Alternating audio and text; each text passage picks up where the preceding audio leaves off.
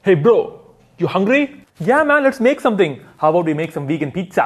Oh, you use cashews and nutritional yeast to make vegan cheese. Why do you want to copy Western non-vegan food? Hashtag vegan food is not original. Uh, okay. So let's keep it local then. How about we make some samosas, huh? you want to fry potatoes and maida in oil?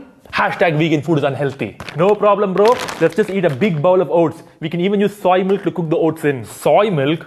Bro, you need to stop supporting these foreign MNCs and buy local produce. Hashtag support local farmers. Hashtag vegans are corporate sellouts. No worries, bro. Let's just eat this one locally produced organic watermelon that I bought at the local farmers market and call it a meal. Is that okay? Oh my god, just fruits and vegetables? That is like so bland and boring. Why can't you vegans make something interesting and tasty? Say like burgers, pastas, or maybe even pizzas. Hashtag vegan food is bland and boring. Ugh. Hashtag vegan food is variety. Hashtag vegan food is healthy. Hashtag vegan food is tasty. Hashtag get the hell out of my house.